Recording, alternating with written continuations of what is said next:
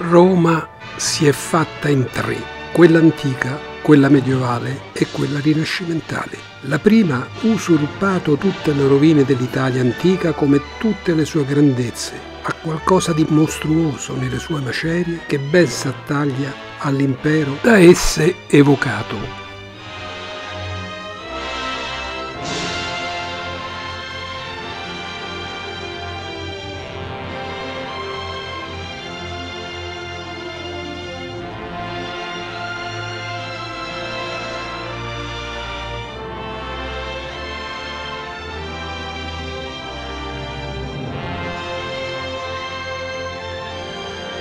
A Roma non è cosa ardua trovare luoghi della città medievale, perché sapendo cercare c'è molto presente. E se per le più importanti testimonianze dell'epoca si trovano i musei e chiese, anche semplicemente passeggiando per le strade, se ne può respirare l'atmosfera.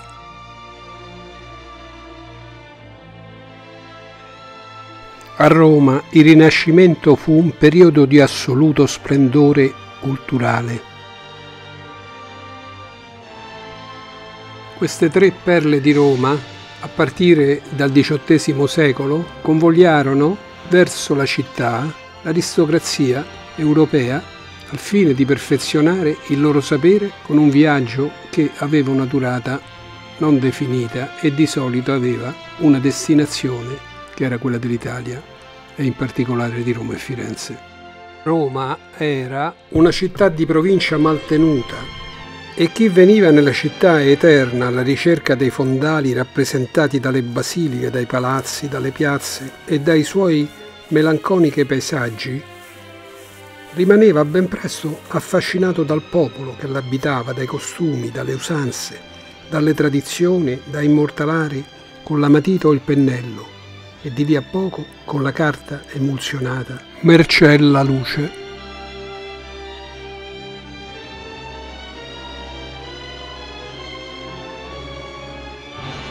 Alboino è stato re dei Longobardi dal 560 circa al 572, anno del suo assassinio. Guidò il suo popolo alla conquista dell'Italia, abbandonando la terra natia alla Pannonia dopo essere riuscito a conquistare parzialmente l'Italia, divenne un personaggio leggendario.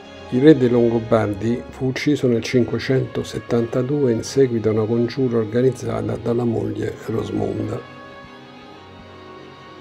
La colonna di foca, eretta nel 608 al centro dell'area presso i rostri, chiude la storia del foro e costituisce la testimonianza di una nuova epoca essa celebra i meriti improbabili di un imperatore bizantino giunto al potere massacrando il suo predecessore Maurizio e i suoi cinque figli. Ma il merito reale nei confronti di Roma di questo personaggio è anch'esso segno di un'epoca, il dono del Panteo a Bonifacio IV, che la trasformò in chiesa. E solo in grazia di questa donazione che il monumento è giunto fino a noi. Sembra che l'imperatore fosse fedele al Papa e a Roma, tanto che il Papa chiuse un occhio sulla sua crudeltà, definendola addirittura pietà. Di fatto fu l'imperatore Foca che emanò un decreto per stabilire di nuovo che la sede di San Pietro l'Apostolo deve essere a capo di tutte le chiese.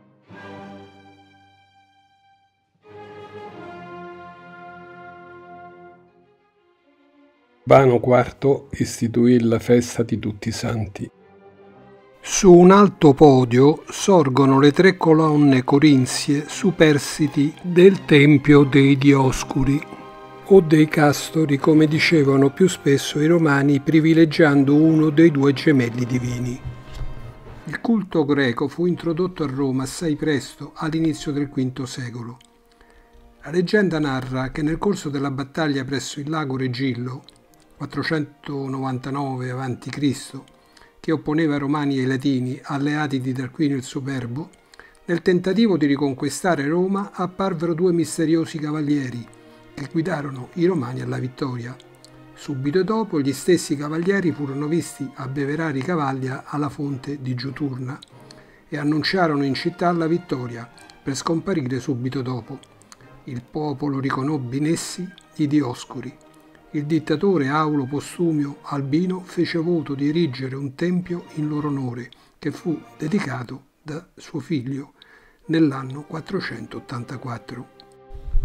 La Basilica Giulia lunga metri 101, larga 49, occupa il luogo di una delle più antiche basiliche, la Sempronia, eretta dal censore Tiberio Semponio Gracco il padre dei celebri Tiberio e Gaio, nel 170 a.C. La costruzione fu iniziata da Cesare, probabilmente già nel 54 a.C. insieme al restauro dell'Emilia e il nuovo foro di Cesare. Essa fu completata da Augusto, ma bruciò subito dopo nel grande incendio del 9 a.C. Ricostruita fu dedicata ai due figli adottivi dell'imperatore Gaio e Lucio, ma conservò sempre il nome e l'impianto il tempio di Saturno era il tempio dell'erario pubblico, cioè dove si teneva il denaro pubblico.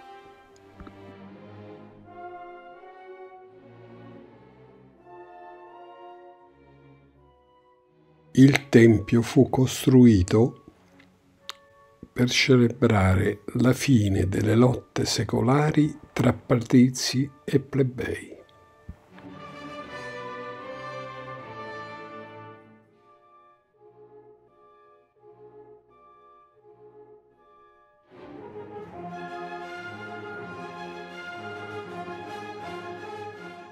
La Basilica Emilia è l'unica rimasta delle basiliche repubblicane.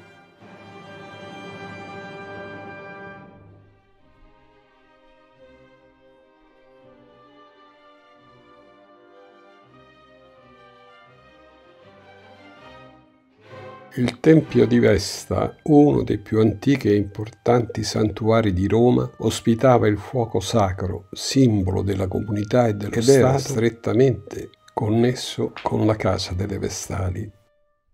Le rovine del foro romano danno l'impressione di essere separate dai fori imperiali, ma i due fori formano un insieme architettonico unitario, isolato dal resto della città e strutturato attorno a cinque grandi piazze porticate.